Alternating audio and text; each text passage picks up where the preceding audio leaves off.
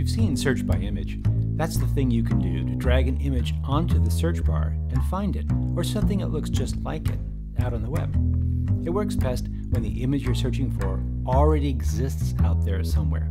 For instance, I got this picture off the internet, well, somewhere, and by using search by image, I can figure out where it came from.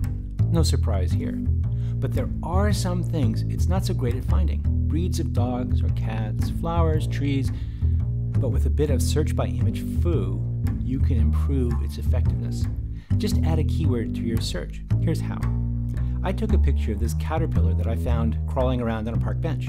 When I did a search for it, nothing. This is what I mean. You can help the image search by adding in what you know about the image.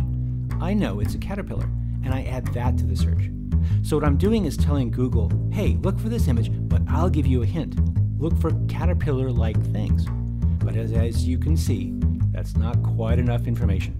So let me add in the word insect and try to knock out all that heavy machinery. And voila, here it is.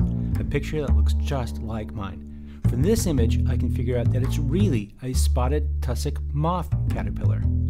If search by image isn't working out so well for you, help it out by giving it a keyword or two to go on. Search on.